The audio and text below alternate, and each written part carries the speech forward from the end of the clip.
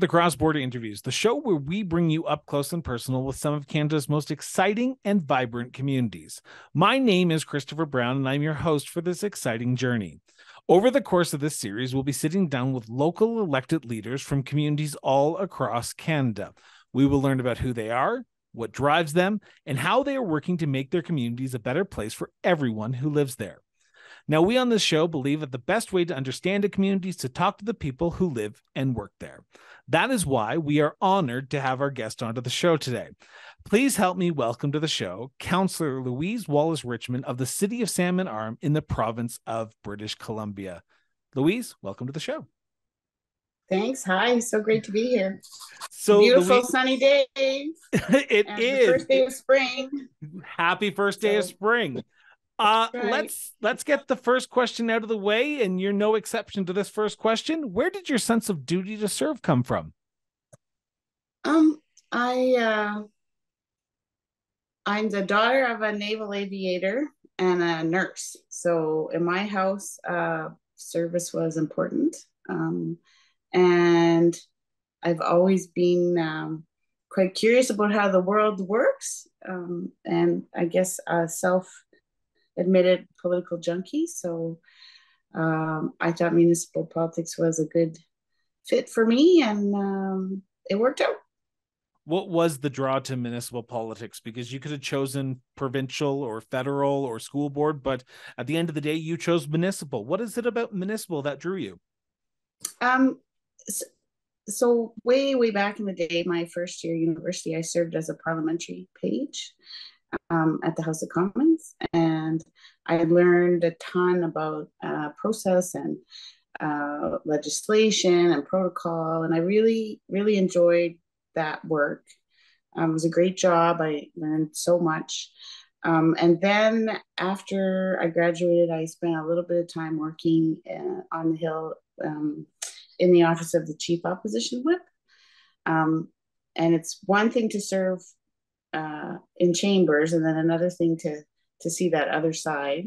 Uh, and so I I was quite young and idealistic, and but I didn't really fit like feel like was a good fit for me. The whole sort of partisan piece and uh, um, it's it's hard to explain, but I'm very interested in practical politics, and I don't always think partisan politics gets us where we need to be. So um, at the time, uh, that was, I guess, late 80s, early 90s, and a lot of people were going west. So I went there too. And then I spent some time working in publishing. Um, it's a lot like politics in that there's a formal process to get things done properly, checking and double checking and um, that sort of thing, you know, consulting and making sure we've covered everything. Uh, and then so I did that in Vancouver. I got a master's at Simon Fraser in publishing, and then um, just so happened I was uh, asked if I would like to move to Salmon Arm, and um, so I did that. And I kept going in. I did a lot of corporate publishing, marketing, and websites and stuff. And the more I got to know my community, the more I thought, uh, I think I could help with with these things. You know, I served on a lot of boards, um, I'm good at governance. And so in 2011, I ran, but I lost, which I think was a really, really, really good lesson. Why do you say that? You're not the first person who has said that the first loss that they got was in more of an educational experience for themselves compared to winning the first time. Why do you think that? Um, because I think a lot of people are drawn to politics or to municipal politics for oftentimes like a single issue reason, something irritated them or frustrated them, or they're very passionate about a particular thing. Um, but once you you get to the table, you realize, oh, there's more than just me, right? So you need that majority. Like in our case, you need the four votes. Um, and you also realize you're representing people who didn't vote for you, right? So, um, and then municipal politics, and I hope you hear this from others, like it's a very sophisticated system because it needs to be. Um, these are complex issues, and um, municipal, you know, on, on under the Local Government Act and the Municipal chart like at the charter you you serve a quasi judicial role and so all of a sudden you go from being all fired up about an issue to making sure you you're not subjecting the city to um, challenges that uh, community members wouldn't want to pay for. Nobody wants to get sued. Nobody wants to. I, I want to talk. I, I want to go back to that first election, that 2011 campaign, because you said something. I want to just challenge you on it a little bit. Were you a single issue candidate? Let's let's let's just put it out there. no, I think I was a a frustrated voter candidate because at the time the community had gone through a very divisive public hearing, um, and it really on what? Us, what was the issue? Um, well, uh, big box stores. Okay.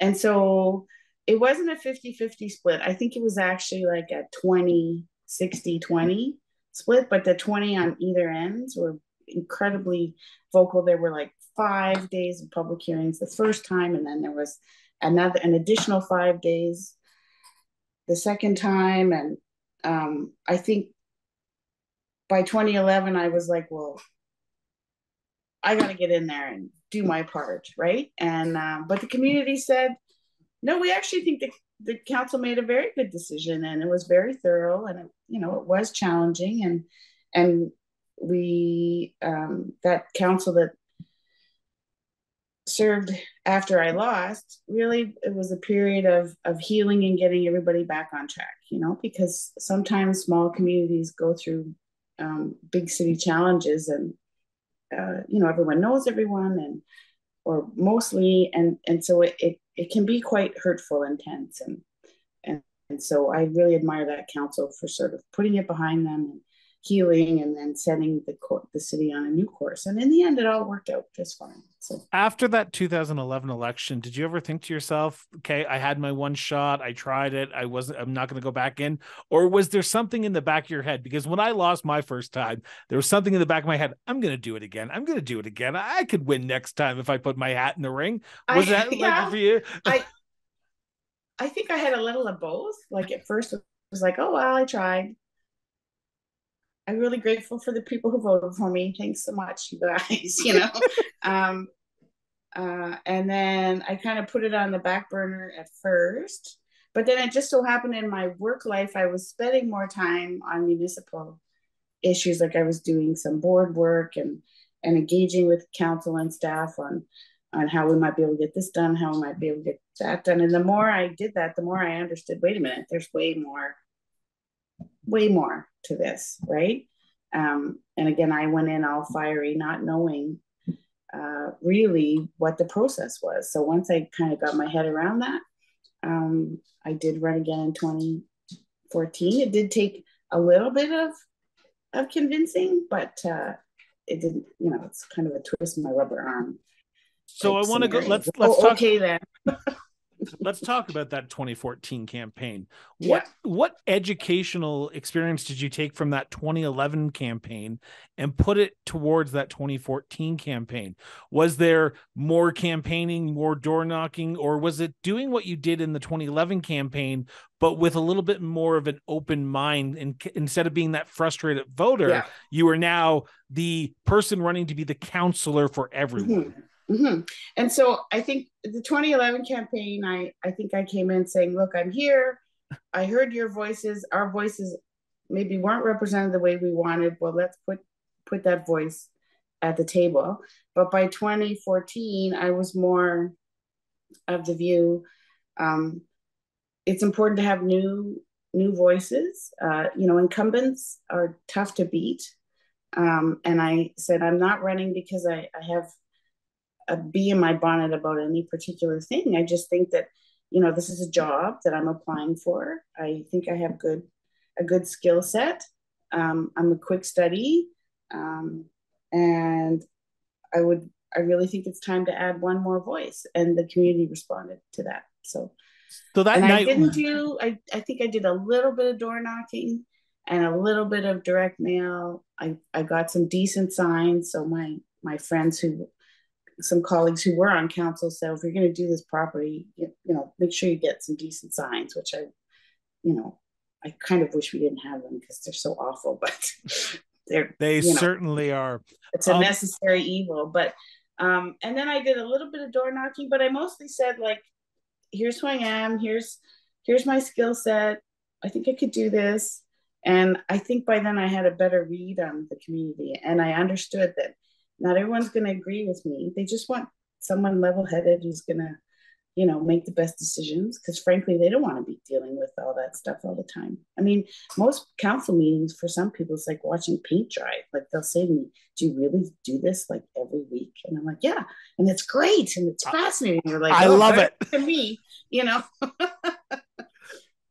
Let's I, let's talk about the issues because Okay. you you you you talk about you think you thought you had an idea of what the pulse of the community was but you did do some door knocking in that election in 2014 were there issues that were being raised at the doorstep that you were not not not prepared for but not uh, that you were shocked at hearing that you went oh i didn't think this was an issue but i'm glad someone's talking about it because now if if i am lucky to get elected this time i'll be able to help address these issues Yeah. because unless you go out and talk to everyone you're not going to know what every issue that Yeah. people have are You know, my takeaway for the very little bit that I did was that people just really wanted to meet someone who wanted to be their council rep, you know? They're like, oh, Louise, you live in my neighborhood? Uh, yeah, I've seen you at the store or the pub. And are you sure you want to do this? Okay, yeah, I'll support you 100%. They re- There's very, you know, it's usually things like snow plowing and roads. And, um, but more than anything, they, they, I think what they liked is, well, maybe maybe now I'll know someone, you you get a you are successful in that campaign 2014 on election Yes. night Yeah, the blue just- check mark gets put beside your name though but ever so, ever so slightly. like I think a I, win is a win on win is a win, yeah. a win is But a win was- in politics yeah. what's that 70 feel like for you Oh, I mean, it was like the best day ever. I mean, it was a nervous wreck, and I won by seventy votes. So I mean, my I think the community said, okay, Louise, we're going to give you a chance. Right? Enough people said, all right, let's try this new person. Um, and and I always kept that like this is this is your trial run. Uh, show us you can do it, and we'll see what happens next time. And then the next time I did get a much better result, and the most recent time an even better result. But you know, I'm consistently in the bottom half of people who get elected, and I'm okay with that because I feel like I'm confident that the people who vote for me know me. They're not just, it's not necessarily a, oh, I like that sign or, or, you Yeah. know. Um, you you get elected you get excited you're elected but then the real work begins the actual governance part of the job begins how Yes. long does it take to get go from okay i've done this to what have i gotten myself into now because now i'm making the decisions yeah, about 20 minutes. No. well, no, because, you know, when they, they, t- they send you away for training, and in my case, I think my first formal piece was a, a like a lunch and learn with the lawyers. And you realize, oh boy, oh boy, right? Sometimes less is more. Like I don't have to spout my mouth off at every every single thing. Like you know, and it but honestly, it did put some fear into me. Um, and then you know, I always that quasi judicial thing, I think is important. Like um, I'm not, no way am I a judge, but there there are legal aspects around zoning and variances and um, and those sort of things. It's a big responsibility. So I I learned well. I got a couple good pieces of advice. So there was a I had been doing some work in northern BC in Fort St. John, and a local mayor had said to me, "Louise, don't worry about what you don't know. You'll learn that stuff. You're there because of what you do know. So use what you know to get through this part, and then you'll be fine. You know, just listen and learn." And then the councillor I replaced because she had she was moving on to another community said. Uh, just will your voice add to the discussion or just break the silence and if it's just going to break the silence then just listen like we really should listen twice as much as we talk i think you and so you- those two things together you know it was kind of a bit of a tightrope and and uh we went to council school and I asked a lot of questions. And um, I think one of my innate skill set is I can really read a room and see where things are going or what's happening. And at the end of every council meeting, I didn't want to come home feeling like, oh, I screwed that up or I should have voted this way. Like at the end of the day, I just wanted to be able to sleep at night. And I feel confident that I can't really think of too many decisions. I mean, they haven't all been popular, but I've been comfortable in my analysis and decision and the process that we use to get there.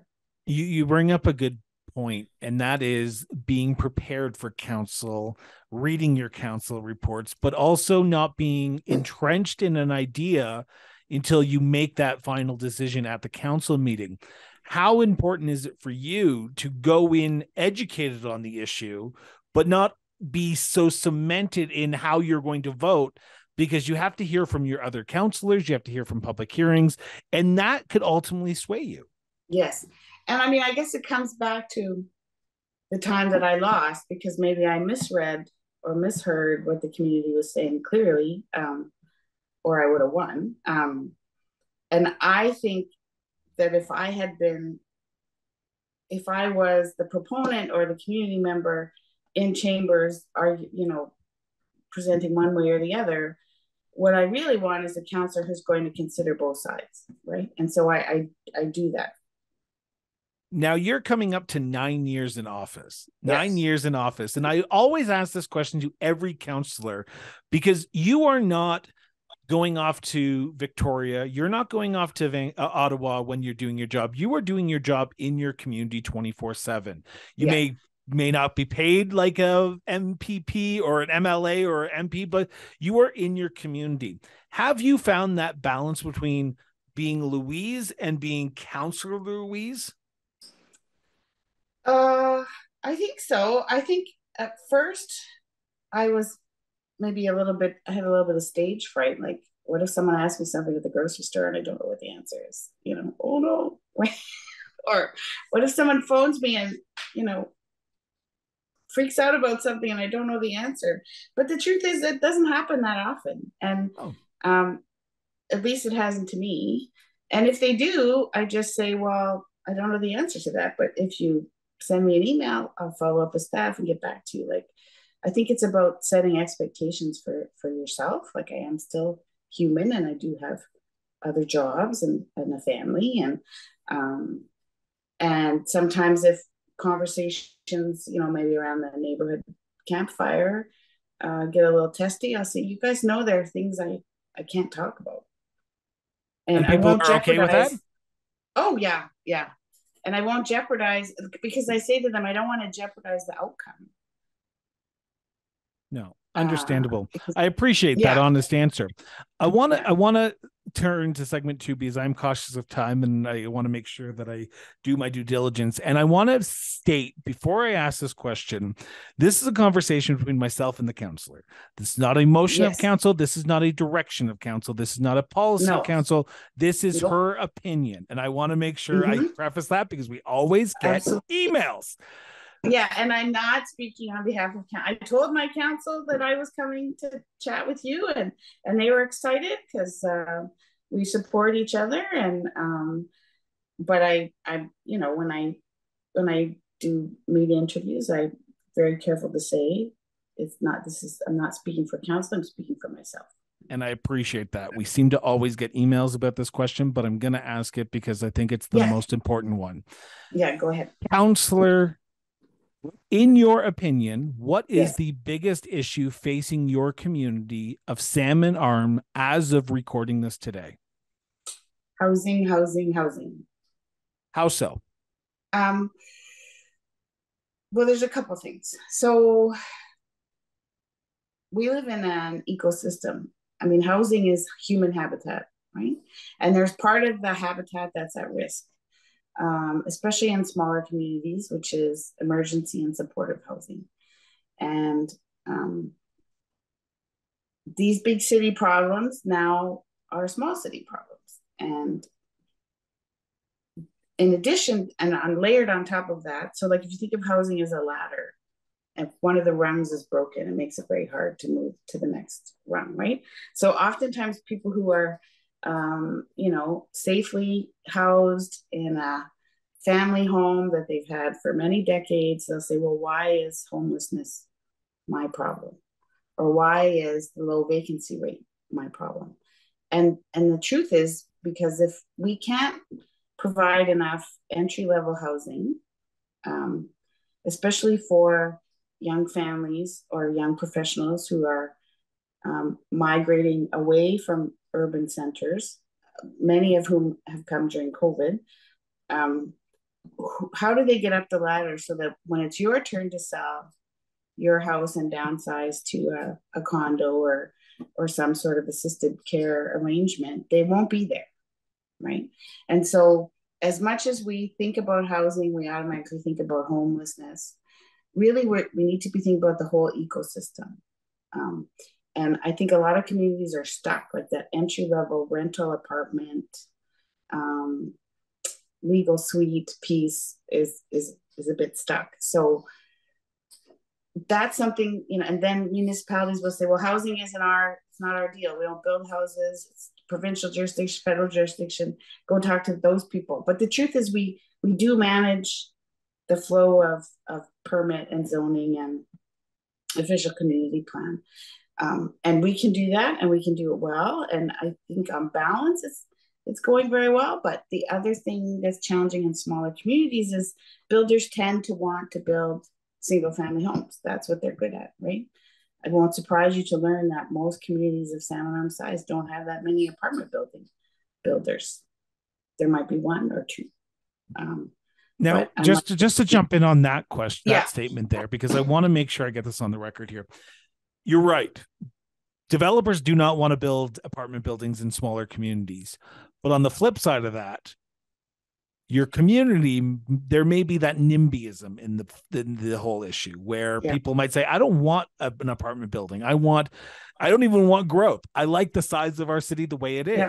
How yeah. do you how do you find that balance? And has your council been able to find the balance between growing the city, building that ecosystem for homelessness, and adding more additional housing units for people to live in, but also sustainable growth where people who are not in favor of it go, I'm comfortable with the pace that the growth is happening. Yes.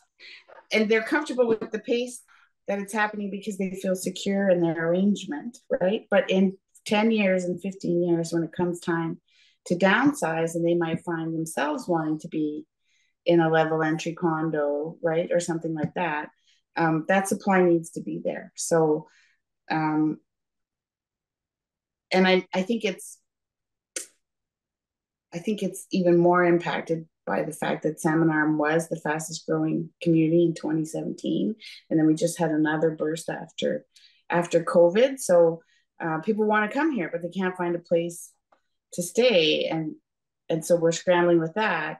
Meanwhile, we also have sort of entry level housing issues because senior levels of government have never thought that the salmon arms and the enderbys and the sicamouses of the world would ever need a shelter, never mind supportive housing, right? so we're we're trying to you know you're trying to it's almost i think the danger is trying to use the same fire hose to put out three different kinds of fires right and I, in salmon arm in 2018 we, we established a housing community housing task force because everyone was talking housing housing housing but nobody was talking to each other. So we brought in convened a table uh, myself and my colleague tim lavery as co-chairs.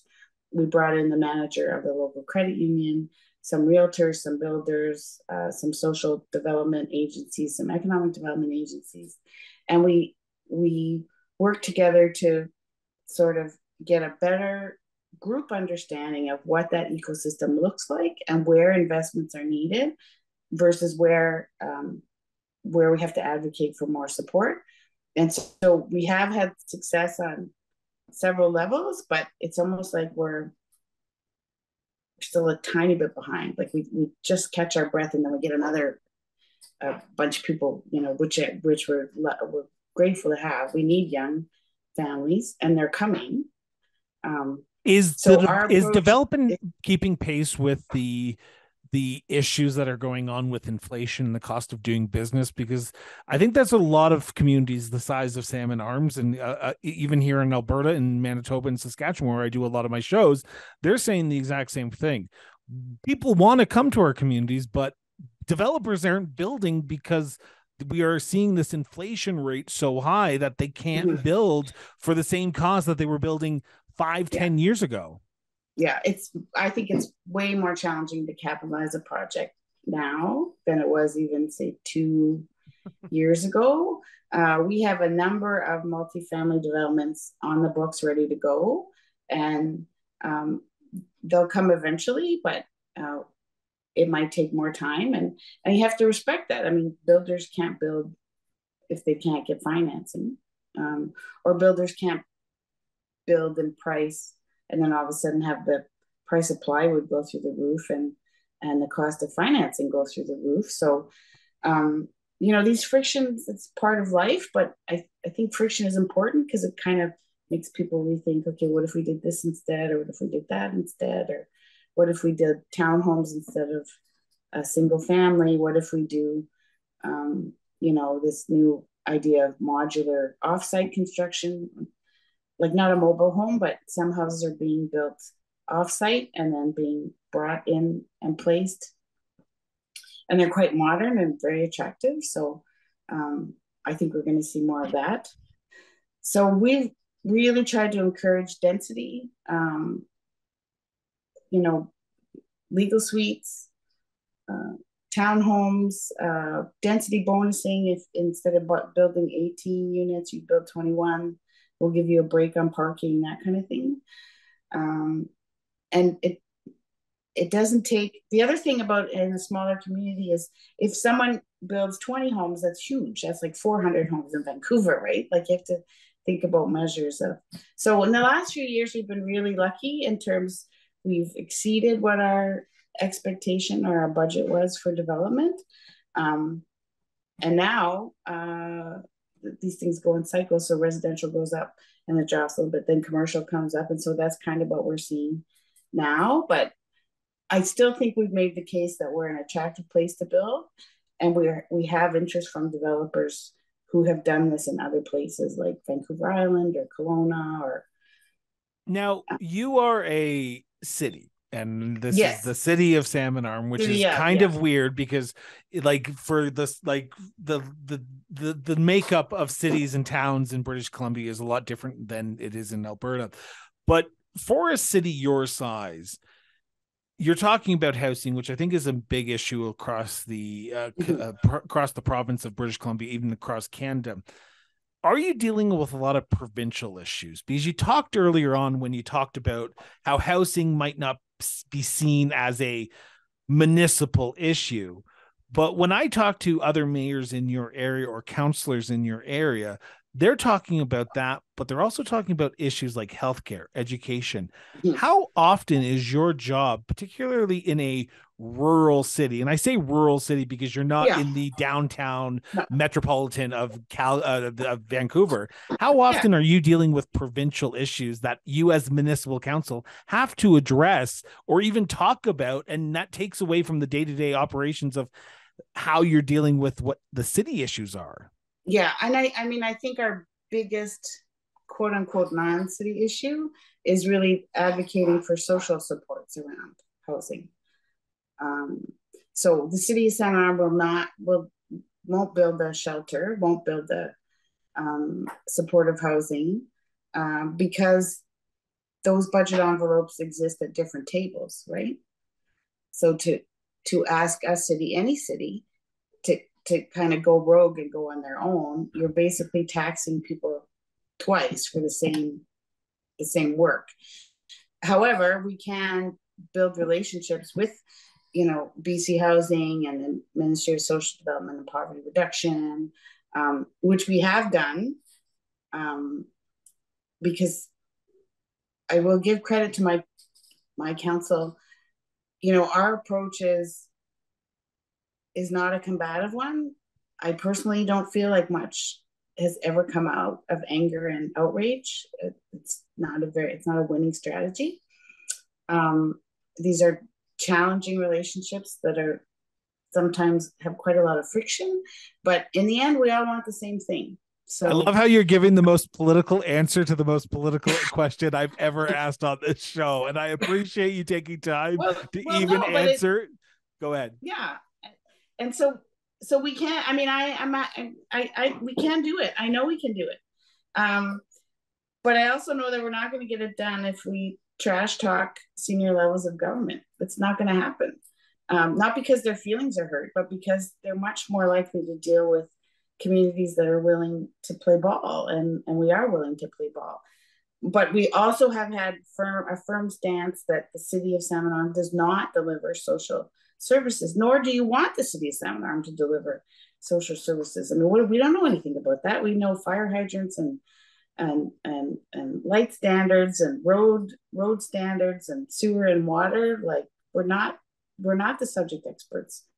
However we will champion you. We will we will go go to the mattresses for you as they say uh, to the ministries to get that support but um you know and so that is a tough conversation to have um, especially in this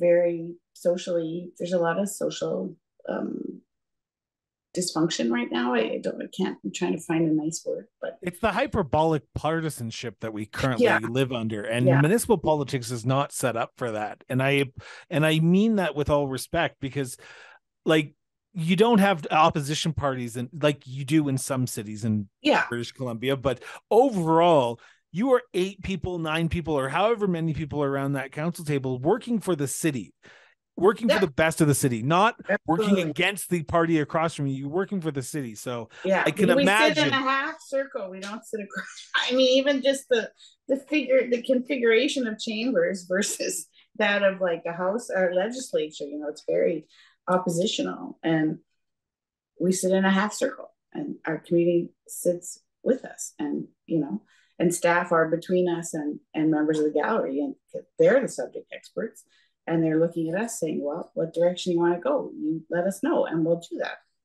So i want to turn to the people's issues now because if I yeah. go talk to the people of Salmon Arm, and I guarantee you, if I talk to 100 people, they will all give me 100 different issues that they believe are the most important to them.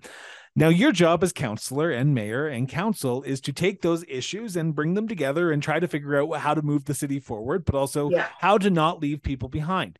Yeah. Have you found that balance? And how do you believe your role as councillor and council is to take the issues, whether it be a pothole, whether it be a park upgrade, look at them, and then try to decipher where the money's going to go. Because at yeah. the end of the day, you have to decide where the money goes, and then administration is the one who does it.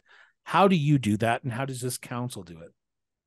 Well, I think I think there's a lot of important conversations about what we want and what we need, right? And and we all want uh, a lot of things. So uh, over the last 18 months to two years, the city's been working through a strategic planning process. I mean, so my short answer is prior proper planning. So with community input and, and pretty good community input at that, we have Are people engaged in uh, Salmon Arm? Big pardon? Are people yes, engaged? Yeah. yeah. Well, I mean, I would say the people who are engaged are very engaged. I still wish more people would come to council and more people. Um, one little sort of, I don't know what I would call it, fun fact is if I see people um, very animated, say on social media about something, and they tag me uh, in a post, which sometimes happens, um, I'll just say, hey, here's my phone number, here's my email give me a call. Let's let's try and work work through this together. And I've been doing that for almost nine years, and no one has ever phoned or emailed as a result of those interactions, right? Because sometimes people are reacting. They're just having a moment, they want to react eh, down or sad face or mad face. They're not interested in responding. Like ultimately, they're like, no, that's your job. You just do it. I'm just pissed off right now. And, right? So, um, and so the strategic plan, which had good input from the community and from a lot of our partner groups, is really lays out short term, medium term, long term. And and a lot of our budgeting process, long-term financial plan, uh, any kind of major bylaw reviews that are coming up are, are, are really grounded in in a proper strategic plan. And not all communities have them, uh, but I know for Salmon Arm it's been a really invaluable tool to the point that we actually had to start it earlier because the last strategic plan, almost all of the boxes were like tick, tick, tick, done, done, done. It's it's amazing how well a good plan works. It certainly is. Um, yeah. I want to end on this last question before we move to the next uh, one. And it's more of an overarching question here if I was to come talk to you at the end of 2023 and I say, Hey, councillor, remember when we had that amazing conversation earlier this year? And you said by the end of this year, you hope to have X done because, or even started or talked about. What would issue X be for you, not as council, but as Councillor Wallace? What would be that issue for you? Yeah, I mean, I guess I guess I'm a big believer in metrics. Like what you don't measure, you can't fix, right? And so Amen to that, sister. right? Here's my here's my metric. I would like at the end of 2023 to see that more housing starts in multifamily than single family. Um, that would be to me an indication that the shift to density is happening. Um, of course, I don't control all those variables, but but I can I can see I can, I can see it. I know it's out there. The other thing I would want is to have successfully worked with social development partners to get a 24/7 365 shelter. I don't control all those variables, but I certainly will not give up saying, you know, we need this, you know, we can do it. We we have a provider, we have a funder, uh, we can find some land. Um, we have great social development workers who get like zero credit for the work that they do. Like if anybody should be getting medals and and celebrations and accolades, it's the people who work in social services. But they don't like that kind of feedback, so they just do their work and and change people's lives, and it's like we don't even know they're there. But um, so those would be the two metrics for me. Uh, and then the the other conversation around town is a lot around um, active transportation so changing the way we move around the city. We're just finishing up a very expensive um, underpass under the main line cp rail main line. It took a long time to get to that decision.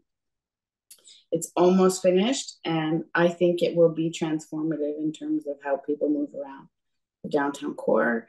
And then I want to build on that momentum so that we can extend those tendrils out. So, you know, more cycling, more walking, more transit. So well, I appreciate you answering those questions. And I yet again I'm cautious of time here. So I want to yeah, turn to sure. our last segment here. Yeah, and this can, the la- the last segment is my best is my is my favorite segment because I like tour ow. I like tourism. Ow. I I like traveling to communities like Salmon Arm. I've said if you come on my show, I'm coming to spend my hard earned economic dollars in your community. So I will be in Salmon Arm later this year. So, as a tourist, as people yes. who have who listen to the show looking for places to go in Canada, what are some of the hidden gems in Salmon Arm that you would highly recommend? Um, so what might surprise you what I won't say. I'm not going to say it's because of the lake, and I'm not going to say it's because of the mountains around uh, because a lot of BC communities have that. All, almost all of us do, right? Um,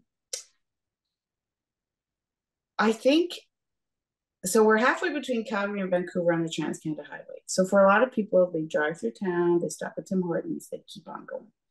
But if you were to turn off the highway and go to the downtown core, there's this really special, compact um, one of a kind downtown core with about 19, 18 or 19 restaurants, uh, more than half a dozen patios in the summer. Um, you can walk down to the water and go to the, the bird sanctuary. Um, we have, uh, we think, nobody's ever been able to confirm or deny it. We have the longest wooden curved inland wharf in North America. Largest wooden. Longest wooden curved inland wharf in North that, America. If that is not the most unique thing I've ever heard, I don't know what is. Yeah. That is I so it to, just I just need to go see it just for that. and so it just does a little curve into the lake so you can see the whole lake. And then there's one of only three bird sanctuaries. Um, in the downtown core, we also have a giant treble clef, which we think no one has confirmed or denied it. The large, the world's largest treble clef, because math, uh, Salmon Arm is a music city. We're the host of the Salmon Arm Roots and Blues Society. There are, you know, many coffee houses and, and concerts. And um, I always tell people in Salmon Arm we party with a purpose. Like what there's always some kind of fundraiser with a band. And it's not just for the sake of having a band and making money. It's it's we're gonna get a band and we're gonna dance and we're gonna make a ton of money for the Trail Alliance or or the Hospice Society or the you know, there, there's a a real. Uh, in fact, we're working on a strategy just around um, how important that music component is in Salmon Arm. A lot of quite famous musicians come from here. Shuffle oh. Demons. Uh, have you heard of the Shuffle Demons? He grew up here. Greg Sczebel is a gospel singer from Please here. tell me you have a big giant sign that says "Welcome to Salmon Arm" and then it lists every single one of the artists that came because I well, love those signs. Have, we, yeah, we do have. So Roots of Blues will often have the sign, and if you were to come this summer, third weekend of August, just saying, um, we will have Sarah McLachlan and Blue Rodeo. Um, Five Alarm Funk. I don't know if you've ever seen Five Alarm Funk, but they will change your world. Um, and there is uh, there is this sort of celebratory quality around music. Um, and I think it's helped us. It was terribly missed during COVID, and now that it's back, it's back with a vengeance. We have this brand new, beautiful uh, Song Sparrow Hall, which is like world like world standard acoustics, um, and uh, any band that comes through there. Like Sloan was here two weeks ago, and wow. they just rave about how I know how good the acoustics are. So um, we also well, have surprised people to learn. Um, you know, we have like a, a mini tech cluster. There's about a thousand people who work in in advanced manufacturing and technology. So, um, and and so sometimes your workforce influences your choice of like culture like in culture is the way we live together right? So we like food and we like music and we like dancing and then uh, to work off all that stuff we go and walk the trails or um, do some hiking do a little paddleboarding you know, that kind of thing. So, so after a long day at work after a long day of council meetings where do you go in town to decompress? Is there a local watering hole? Is there a park that you go to just let it all slip away?